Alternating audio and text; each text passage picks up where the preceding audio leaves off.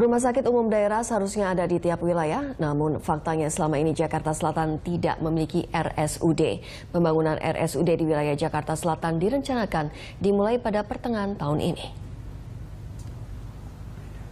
Pembangunan RSUD Jakarta Selatan menelan anggaran 400 miliar rupiah untuk 400 tempat tidur. 80 persen kamar diprioritaskan untuk kelas 3. RSUD Jakarta Selatan dibangun di kawasan Pasar Minggu, tepatnya sebelah Kementerian Pertanian dengan waktu pengerjaan satu setengah tahun. Kepala Dinas Kesehatan Jakarta, Dien Emawati mengatakan, proses lelang sudah selesai dan saat ini masuk tahap penyelesaian dokumen pelaksanaan anggaran, DPA.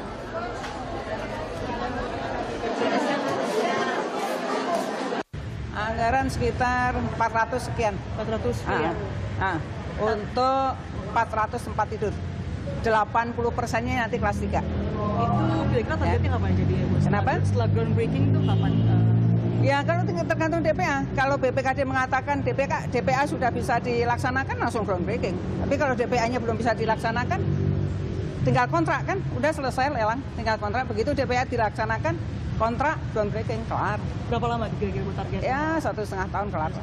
Bu, kembali rumah sakit A tadi selain RSUD di Tarakan mana lagi Bu? Yang mau dipersiapkan Pasar Bu.